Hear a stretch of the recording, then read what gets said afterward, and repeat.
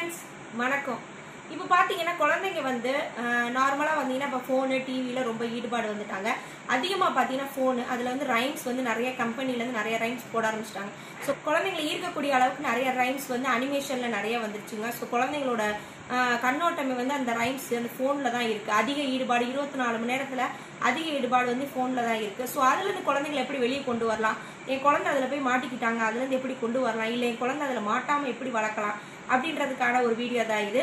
So இது ஒரு பெற்றோருக்கு யூஸ்ஃபுல்லான வீடியோ ஸ்கிப் பண்ணாமல் ஃபுல்லாக பாருங்கள் இப்போ பார்த்தீங்கன்னா குழந்தைங்க வந்து நீங்கள் தனியாக இருக்கீங்க. மாமனார் மாமியார் அம்மா அப்பா அவங்களோட இல்லாமல் தனியாக நீங்கள் இருக்கீங்க வெளியூரில் இருக்கீங்க அப்படின்னா காலையில் சமைச்சிட்டு குழந்தைங்களுக்கான திங்ஸ் எல்லாம் வாங்கி போடுங்க. குழந்தைங்க யூஸ் பண்ணக்கூடிய எல்லா பொருட்களையும் வாங்கி போட்டு அதில் விளையாடுங்க. நீங்கள் உங்களோட அதாவது உங்கள் நீங்கள் சந்தோஷமாக இருக்கணும் நீங்கள் டிவி பார்க்கணும் நீங்கள் ஃபோன் நோண்டணும் அப்படின்ற நோக்கத்தை விட்டுட்டு ஒன்றரை வருஷம் குழந்தைய நம்ம ஈடுபாடோடு வளர்த்தோம்னா தன்னை போல் அவங்க பாட்டுக்கு வளர்ந்துருந்துடும் இல்லை நீங்கள் ஃபோன் நோண்டணும் நீங்கள் படம் பார்க்கணும் நாலு பேரோட பேசணும் நாலு பேரோட பேசணும் நாலு பேரோட ஃபோன் பேசணும் அப்படி நீங்கள் உங்களோட என்ஜாய்மெண்ட்டை பார்த்தீங்கன்னா குழந்தைய வளர்க்க முடியாது. ஒன்றரை வருஷத்துக்கு அப்புறம் கஷ்டப்பட்டு கண்ணீர் வடிச்சு தாங்க வளர்க்கணும். ஸோ இது வந்து நிறைய பேரோட லைஃப்பில் நடந்துட்டுருக்கு. நானுமே கண் கூட நிறைய பார்த்துட்ருக்கேன் நிறைய பேர் வந்து நிறைய வீடியோஸில் கமெண்ட்ஸில் இந்த விஷயம் சொல்கிறாங்க ஸோ என்னோட லைஃப்பில் என் பையனுக்கு நான் எப்படி செஞ்சேன்னா அவனுக்கு அடிக்கடி உடம்பு முடியாமல் போகும்.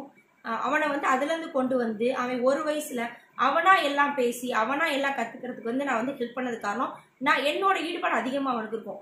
அதனால் நான் சாக்ரிஃபைஸ் பண்ணது பார்த்தீங்கன்னா ஃபோனு டிவி படம் பாட்டு இது எதுவுமே கேட்க மாட்டேங்க.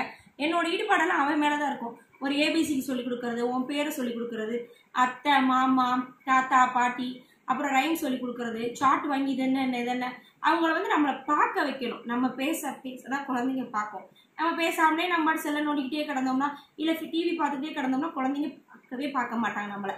நம்மளை பார்த்துட்டாங்கன்னா ஆட்டோமேட்டிக் எல்லாம் செஞ்சிடும் நான் அப்படி செஞ்சதுனால அவனே நடந்தான். அவனே உட்காந்து மோஷன் போகிறதுலேருந்து எல்லா ஆக்டிவிட்டியும் அவனே செஞ்சான். ஒன்றரை வருஷம் நான் கஷ்டப்பட்டேன். இன்னைக்கு அவனா அவனோட வேலையை செய்கிற அளவுக்கு அவன் பர்ஃபெக்டாக வந்துட்டான். ஸோ பெற்றோர்கள் கவனத்துக்கு என்னன்னு பார்த்தீங்கன்னா நீங்கள் உங்கள் குழந்தைய கவனமாக வளர்க்கணும். ஒன்றரை வருஷம் தாயோட கடமை தான். கஷ்டப்பட்டு வளர்த்துட்டீங்கன்னா டான் டான் வளர்ந்துருவான். நீங்கள் அப்போ கஷ்டப்படாமல் என் குழந்தை இவ்வளோ பொருளை போட்டு வச்சிருக்கீங்க. அதுக்குள்ளேயே உட்காந்து அதோட மென்டாலிட்டிலாம் அந்த பொருளுக்குள்ளே தான் இருக்கும். நம்மளை கூப்பிட்டாலும் பார்க்காது. அவனோட ஆக்டிவிட்டீஸ்லாம் நம்ம சொல்லி கொடுத்தாலும் செய்ய மாட்டான்.